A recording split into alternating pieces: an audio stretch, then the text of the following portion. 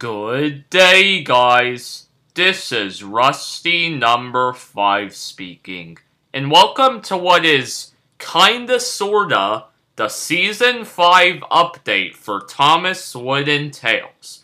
Now, you're like probably extremely confused right now, because I have made it very clear that the show is ending, and that is still the case. Thomas Wooden Tales is still ending. However, there are still three more episodes to go until the series ends. And since it's been over a year since the last episode of Thomas Wooden Tales, I decided that these three episodes are going to be quote unquote season 5. I did a poll on my Instagram account where I asked if I should consider the next three episodes season 5 or season 4 and the majority said season 5. And also, I think that would make sense myself.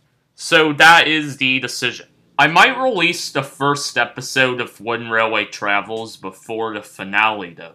So probably in like Marchish, I'll release the first episode of that, which will be the full version of the story that was in the pilot episode. I think I'm gonna go ahead and talk about other projects as well, starting with the 50th review.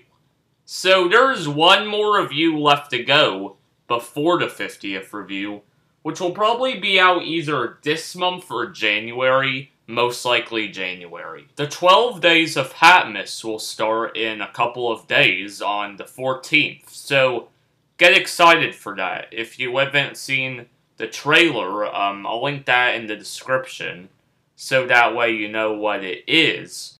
Coming on the 31st will be the annual Best of the Year video. It's going to be a top 10 list again, which might get some people angry, but there's definitely going to be some sort of content in it, not just uh, YouTube Rewinds, Watch Mojo, whatever style list.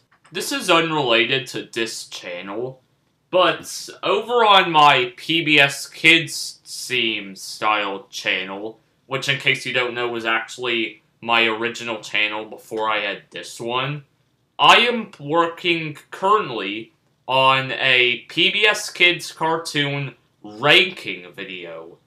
It is currently in production, it's going to take quite a while because I'm literally going through over 50 shows. So, um, be on the lookout for that when it comes out in maybe the spring. I think that's it, but if I forgot something, I'll write a comment about it. And with that, that is all for this video, and let me know what you think about all of this. Rust out.